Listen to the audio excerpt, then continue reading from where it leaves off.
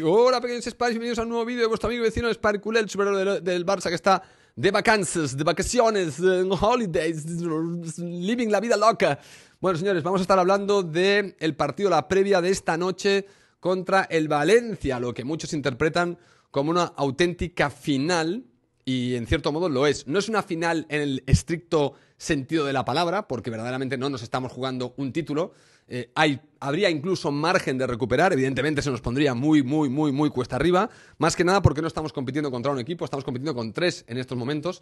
Y el Barça ya tiene que estar pensando incluso en no descolgarse en exceso, porque descolgarse de los de arriba significa que te estás acercando a los que vienen por detrás. Y los que vienen por detrás, tipo Real Sociedad, Atlético de Bilbao, Betis y tal y cual, estos quieren, quieren raspar la plaza, la última plaza de la Champions y te la quieren quitar. Entonces el Barça tiene que tener cuidado de no caerse de la Champions el año que viene de forma directa. O sea, esto no, no hagamos broma con esto porque ya no es solo la liga, es que el Barça se tiene que consolidar muy bien entre los cuatro primeros para no eh, entrar en pánico de que hoy, hoy, otra vez la Champions. ¿Os acordáis cuando íbamos no menos con, con Kuman? Que el, el, objetivo era llegar a la cuarta posición como fuera, acabamos segundos, gracias a Xavi a la plantilla y a los fichajes.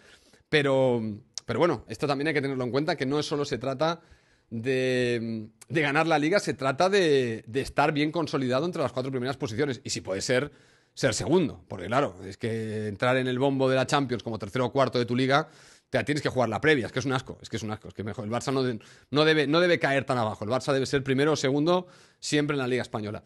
Bueno, mmm, dicho esto, dicho esto, el partido de hoy es un partido que, como decía ayer Xavi, mmm, como ellos son los responsables de la estabilidad, tanto el cuerpo técnico como los futbolistas, si quieren estabilidad, ya saben lo que tienen que hacer. O sea, es muy sencillo. Yo, si soy Xavi, que ayer hablaba de estabilidad, ¿no? Necesitamos estabilidad. Bueno, pues ya sabes lo que tienes que hacer. O sea, es que es muy simple. ¿Quieres estabilidad? Ganar. No hay más. Si hoy ganáis, habrá estabilidad. Si ganáis y convencéis, habrá más que estabilidad.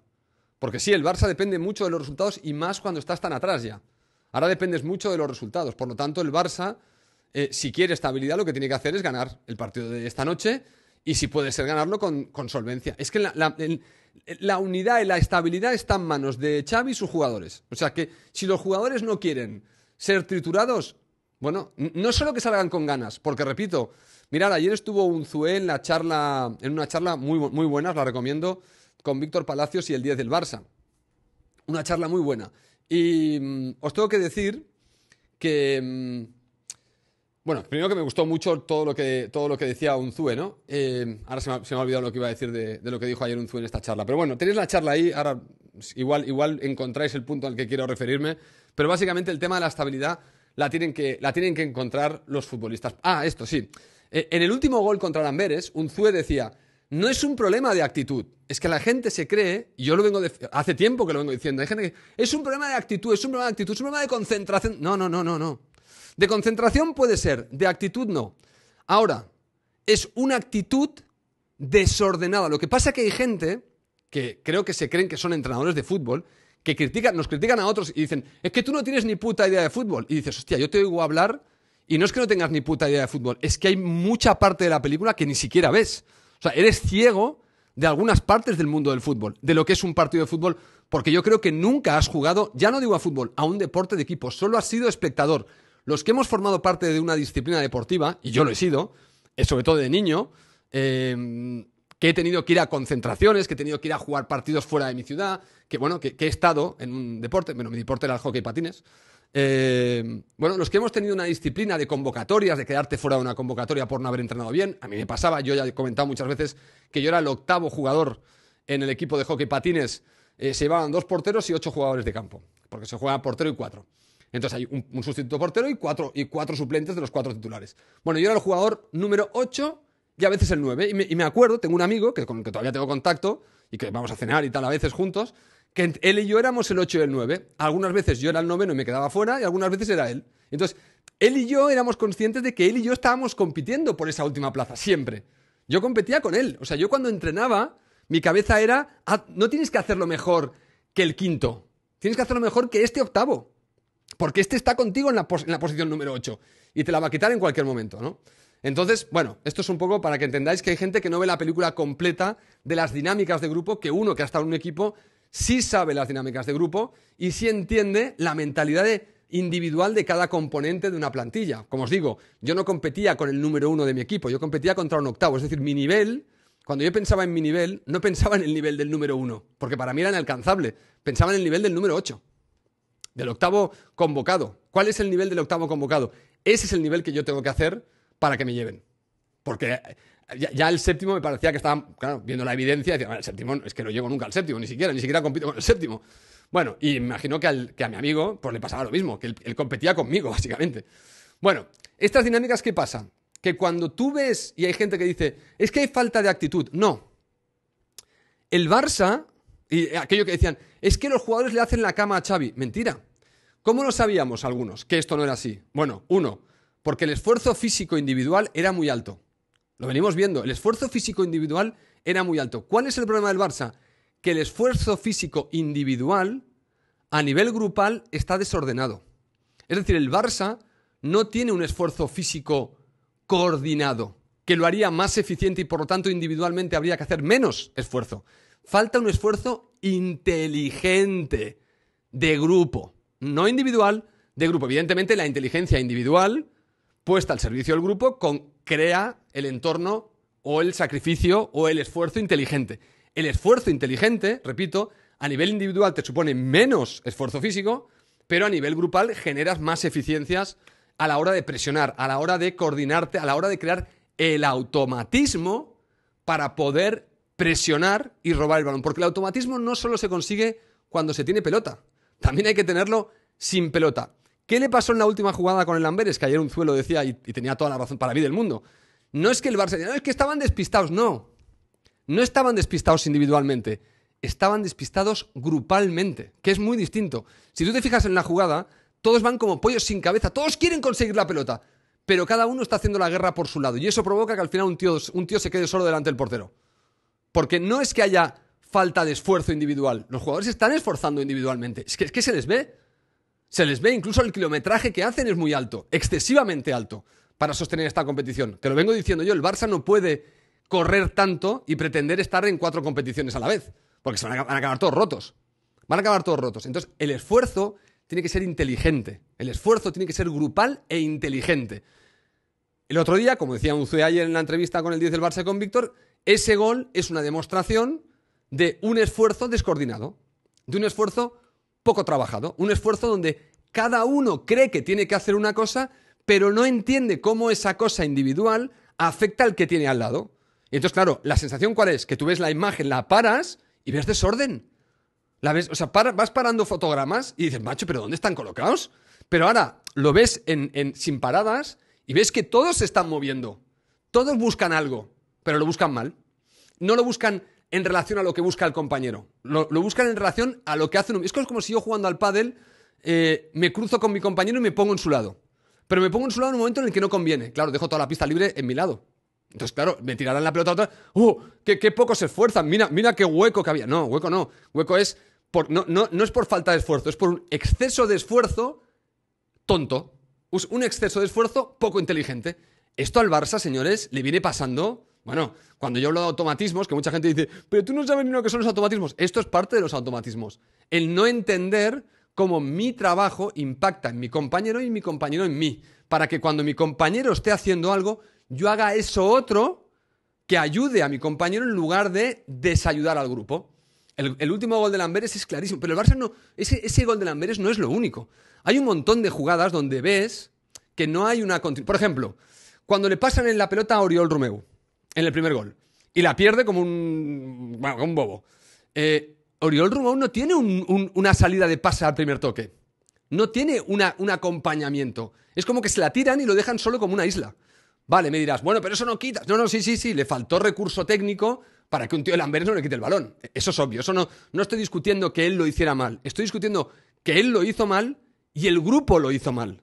Porque, ¿cuál era la intencionalidad de pasarle el balón ahí a, a Oriol Romeu? ¿Qué venía después del pase a Oriol Romeu? ¿Sabéis la sensación que da cuando le dan el pase a Oriol Romeu? Que vamos a un callejón sin salida. La recibe Oriol Romeu y Oriol Romeu no sabe qué viene después no entiende la coreografía. ¿Por qué no hay coreografía? No entiende, no, sabe leer cuál es lo siguiente que me toca hacer. En ese momento de duda es cuando la pierde. Dices, bueno, pero ese será que Uriol es tonto. Sí, cuesta mucho creer que todos sean tan tontos para cometer los errores que se están cometiendo, que se denota que hay como momentos de ¿y ahora qué? ¿Y ahora qué toca? Tengo el balón y ahora realmente qué me toca hacer con esto? ¿Qué hago con este esférico? Yo esto en el Barça lo veo mucho, es una sensación como de... son esos segundos de incertidumbre que ves en el jugador que no sabe muy bien si la tiene que tirar atrás, si tiene que intentar encarar, si la tira al interior. Y es como, bueno, y al final, claro, por suerte hay un recurso básico que es tirarlo para atrás. Claro, y entonces ves mucho al Barça abusando de, una, de un juego predecible porque en ciertos momentos no hay coreografía. Coreografía que, repito, si te leen la coreografía, si te leen la coreografía, no pasa nada, siempre y cuando la hagas rápido. Siempre y cuando la hagas rápido, porque ahí está el truco. Esto también lo decía Bangal. ¿Por qué las coreografías se tienen que hacer con una velocidad de balón? Porque es que aunque te lean la coreografía, si la haces rápido, da igual. Mirar, ejemplo tonto y básico y claro que explica un automatismo que todo el mundo sabe que se va a producir, pero que no pueden parar. La jugada de Jordi Alba con Messi. ¿Os acordáis de la típica jugada de Jordi Alba en la banda, tirándola para atrás y llegando Messi metiendo gol? Dices, macho, si todo el mundo sabe que va a pasar eso. Si todo el mundo lo sabe. ¿Cómo es posible que todo el mundo sabiendo que va a pasar eso y no paraban de ejecutar esa jugada? Dices, ¿eso es un automatismo? Eso es un automatismo. Esa jugada, ese automatismo entre Jordi Alba y Messi, que el Mr. Mister, ¿cómo se llama? Mr. Censuritas dice que yo no sé lo que es un automatismo, pues en toda tu cara, eso es un automatismo, amigo mío. A ver si tú me encuentras otro, ¿eh? Vamos a ver si, si tú sabes lo que es un automatismo, porque dices que yo no sé qué es un automatismo, a ver si tú lo sabes. Porque también te puedo decir que tú no sabes lo que es, pero si no te digo lo que es un automatismo o no te digo por qué no sabes, estás tirando paja, como siempre. Estás ah, tirando frases hechas de fortune cookies una detrás de otra, que eso es lo que hace el Mr. Eh, Censuritas. Tirar frases hechas que él cree que, oh, oh, explícalas, explícalas. Yo aquí las explico. Esto es un automatismo. La jugada de Messi y Jordi Alba. Eso no es un automatismo, rebátelo. Rebátelo. No tengo ni puta idea de automatismos. Venga, rebáteme este. Eso ¿Qué es esa jugada entonces? A ver, vamos a ver. ¿Eso es un automatismo o no? Eso es una mecanización de una jugada, ¿vale? Eso es algo que se tiene que entrenar. Eso es algo que Jordi Alba y Messi espontáneamente seguramente habían entrenado en los entrenos una tras otra, tras otra, tras otra. ¿Se puede leer? Claro que se puede leer. Sabíamos que iba a pasar, hasta los espectadores sabíamos que iba a pasar. Todo el mundo sabía que iba a pasar. Pero ¿por qué no podían frenarla? Porque la ejecutaban muy rápido. La ejecutaban muy rápido. En el momento en el que ellos veían el hueco para hacerla, ponían el mecanismo en marcha, para cuando se querían enterar los que ya tenían leída la jugada, ya era demasiado tarde. Messi ya había chutado. No había forma de pararlo. ¿Por qué? Porque las coreografías, aunque te las pillen, si mueves rápido el balón, son impillables porque el balón va demasiado rápido y no hay ser humano que pueda seguir el balón a esa velocidad.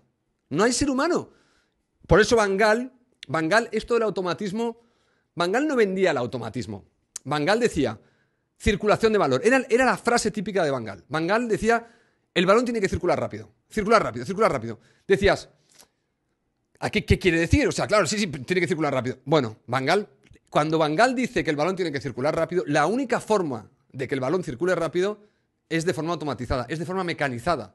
Entonces, al final Bangal lo que nos estaba diciendo era, hay que tener automatismos para que el balón circule rápido, porque es la única forma de que circule rápido. Si hay automatismos, si hay mecanización, si hay coreografías preestablecidas que se han entrenado. ¿Qué es un rondo si no la mecanización del toque, al, del, toque al, primer toque? O sea, del pase al primer toque. Del control y pase al primer toque. ¿Qué es, qué es un rondo? Es eso. Es intentar mecanizar el, toque, el primer toque. Esto es lo que intentan hacer muchos rondos. ¿Cómo juega el primer toque? ¿Por qué? Hombre, porque se sabe que la circulación del balón es lo que desarticula cualquier equipo. Si quiero circular más rápido el balón, más vale que, tenga la mecanización hecha para hacer con precisión los pases, que es lo que hacían Jordi Alba y Messi. ¿Por qué cuento todo este rollo? Bueno, ni puta ya, no sé cómo he llegado hasta aquí porque estoy hablando de la previa del partido y no sé dónde va esta previa. Pero bueno, al final, al final, hoy, en el partido de hoy, lo que tenemos que ver no es esfuerzo físico gratuito de pollo sin cabeza. Tenemos que ver orden. El Barça necesita ordenarse en torno al grupo. Si Xavi quiere estabilidad y unidad, que consiga otra vez cohesión grupal en el juego, tanto en ataque como en defensa. Esfuerzos solidarios, pero con inteligencia. Porque en el momento en el que los jugadores empiecen a hacer, tanto en ataque como en defensa, la guerra por su lado, sí, sí, su GPS marcará que han corrido un huevo y medio. Pero no nos sirve de nada correr de forma poco inteligente, de forma poco coral, poco cohesionada, poco grupalizada. Que no sé si existe esta palabra, pero me la saco la punta la polla.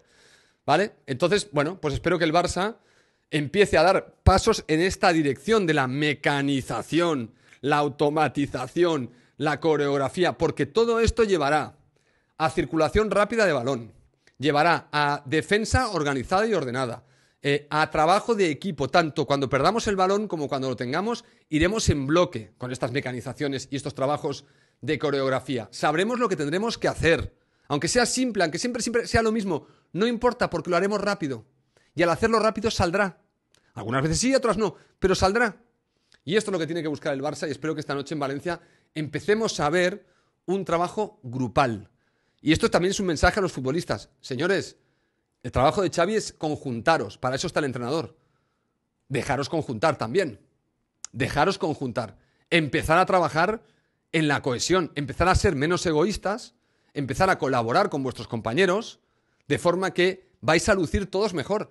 Haciendo la guerra por vuestro lado, puede ser que alguno luzca y quede como, hostia, qué bueno. Pero al final, como vais a lucir de verdad todos, es cuando trabajéis juntos. La unión hace la fuerza, es un dicho que se viene diciendo toda la vida y es cierto.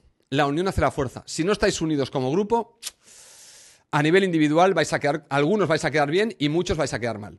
Entonces ya podéis empezar a, reagruparos en el grupo, o sea, a cobijaros en el grupo. Todo lo que tiene que intentar Xavi de una vez, crear esta cohesión que me da la sensación que el año pasado, por lo menos en tareas defensivas, estaba clara. En tareas defensivas el año pasado, esta cohesión estaba clara. Por eso el otro día hay gente que me dice, uy, qué retirada de cable, qué recogida de cable, ahora cambiando el discurso. No, no, yo no cambio el discurso. Yo pedía más ofensividad, pero viendo que somos incapaces, porque intentando ser más ofensivos, ni somos ofensivos, ni somos fiables en defensa, lo que dije es, bueno, como no sois capaces, porque sois unos troncos o por lo que sea, me da igual, el motivo ahora mismo me da igual, claro, sí, claro que hay que recoger cable, obviamente. No, no vamos a seguir como estamos solo por tener razón. No, no, pues eh, error, recojamos cable y empezamos a trabajar en ser un equipo difícil de, doblegar en cuanto a encajar goles. Claro, claro, empecemos otra vez, volvamos otra vez a la base de la pizarra y empecemos a trabajar desde la base, porque viendo que yendo a la punta de la, de la, del juego no nos está saliendo. Por lo tanto, hay que volver, evidentemente, hay que volver a, la, a la primera línea y retroceder. O sea, retroceder cuatro niveles y volver a empezar, claro, porque es que no está funcionando este cuarto nivel, esta cuarta marcha, la hemos puesto demasiado rápido. El equipo no tiene la capacidad de jugar con esta cuarta marcha ofensivamente hablando. Por lo tanto, hay que volver a bajar a primera marcha y empezar de cero. Casi, casi, porque no, no veo otra para salir del agujero. Bueno, señores, decidme qué pensáis de esto. Esto es la previa del partido de hoy. Me da igual quién salga, me da igual la estructura que plantee Xavi. Ya no voy a recomendar ni un 4-3-3 ni un 4. Esto es cosa de él. No voy a recomendar quién tiene que jugar y quién no. Esto es cosa de Xavi. Para eso tenemos un entrenador que cobra millones de euros eh, eh, cada año. Eh, y futbolistas también millonarios, por lo tanto que lo resuelvan ellos, que para eso se les paga, que ellos den estabilidad al club eh, jugando bien y ganando, si puede ser solo ganando, pues ganando, pues por lo menos, y luego ya intentarán jugar bien, pero que ellos se, autorresponsabilicen de darnos estabilidad. yo no soy el responsable de la estabilidad, que ojo, no me importa, si quieren que yo sea el responsable, que pasen por caja, no tengo ningún problema. Yo también estoy dispuesto a, a que me digan de todo, de hecho me dicen de todo y no hagan un pastizal, pues imagínate, si ganara un pastizal, pues mucho más tranquilo, recibiría los insultos sin ningún problema. Que ayer en el chat del, del Víctor Párez y tal, yo haciendo preguntas con sentido y todo el mundo diciendo que todas mis preguntas eran para por culo. Es que es, que es de flipe, o sea, es, alucinante. Y yo no cobro lo que cobran estos chicos, o sea, que tú me dirás. Y lo aguanté con deportividad porque no quería joder unas ganas de insultar a todos Dios, pero dije, no, no, no, es mi canal, es el canal de Víctor, me voy a comportar, yo voy a hacer mis preguntas, si las quieren hacer bien, y si no, pues también, ahí quedan. Señores, nos vemos en el próximo vídeo. Chao.